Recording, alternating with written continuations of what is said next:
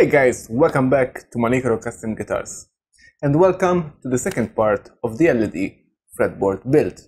In this part 2 I'm going through some details about the mixing of the epoxy, what kind, what I did, uh, quantities and then I'm going to go through the pouring. Okay, so let's roll the intro and we can begin.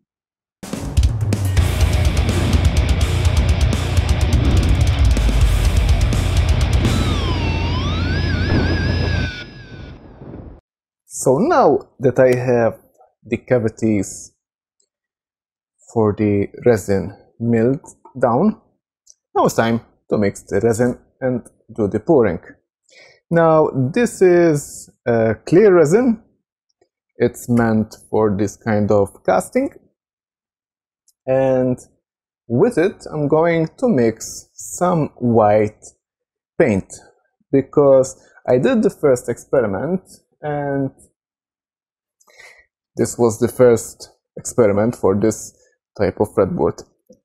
I used just the clear resin and you can see literally the wood of the neck and the light distribution isn't really good with a clear resin. That's why I want to add some white paint just to make it more diffusible. Now, this was the second experiment that I did. And this, I used this shellac base ink to mix with the resin. And the diffusion effect was very good. In fact, you can see it's not clear, it's frosted. But the resin, it has some sort of white particles rather than a, a smooth white transition. So for this time I'm thinking to try an acrylic um, base paint, acrylic paint and see how that will go. This is a 2 to 1 mix ratio, to resin 1 hardener and to do that, I'm using this paint mixing cup, which has a 2-1 mixing ratio.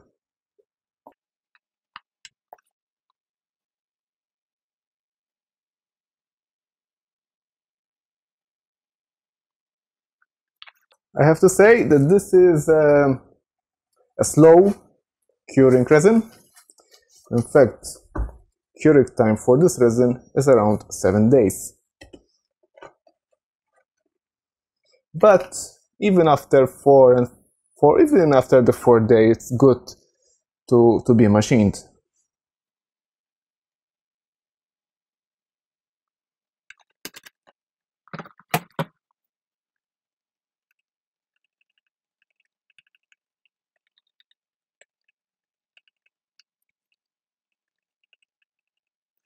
To do something like this is very it's recommended to use this kind of resin. I mean not exactly this this product but this kind of resin. Because in the beginning i was thinking to use uh, the west system epoxy but i have some west system epoxy but when i mix it it comes it has that yellow tint to it. So yeah something like this clear resin it's much better for this kind of job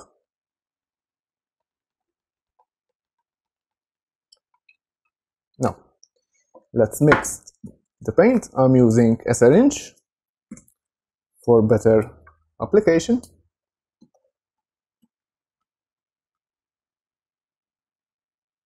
And let's hope for the best.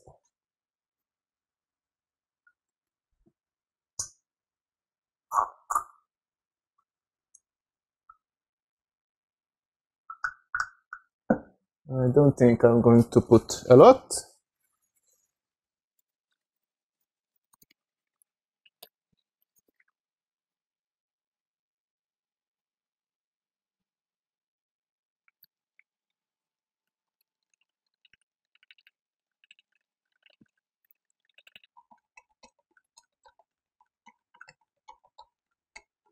In the direction it states needs at least 2 minutes of mixing. And I think at this point it's looking very good. I'm checking for bubbles. Now, regarding the bubbles, I'm going to hit it. The heat gun.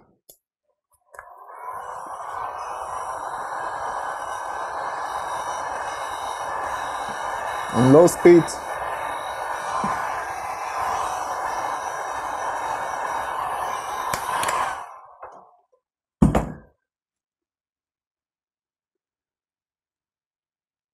And that should do it. Now let's do the pouring just before I pour the resin, I want to make sure there's no dust in the cavities.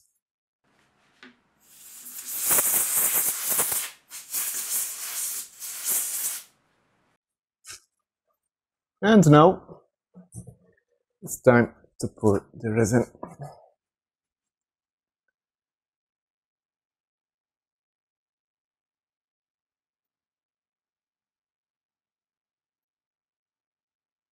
Since there are small cavities, I'm pouring the resin very slowly just to avoid air pockets.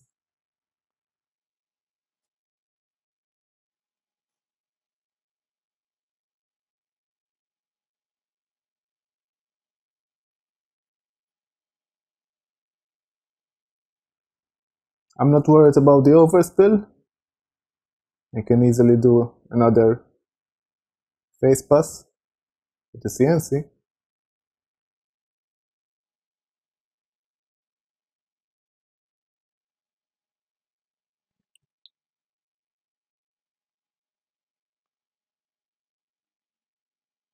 Actually, I do want some overfill, so I'll be sure that they are all filled up properly. Now, as I said, this resin will take out around five, six to seven days to, well, seven days to be fully dried. But around the fourth day, even the fifth day, it will be good for milling, for cutting. But during, in between, I will, well, especially today and tomorrow, I will keep an eye on them because sometimes the, the, the wood, especially the the second test piece that I did, it was maple, the wood was kind of absorbing most of the resin. So yeah, time by time, it needs to be topped up.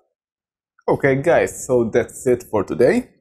I hope you liked it, enjoyed it, and learned something from it. In the next episode, I'm going to go through of some of the toolpaths for the next step, bits that I used, uh, machining strategy in Fusion 360 and some machining footage. If you have any questions, please leave them down in the comment section down below. I'll do my best to answer them for you. If you like this video, please hit that like button. It helps the channel a lot. Share it with your friends. And if you're enjoying my content, please I invite you to subscribe to my channel and hit that notification bell so you'll be aware about my future releases. I do CNC and guitar building content. And until the next time, take care and goodbye.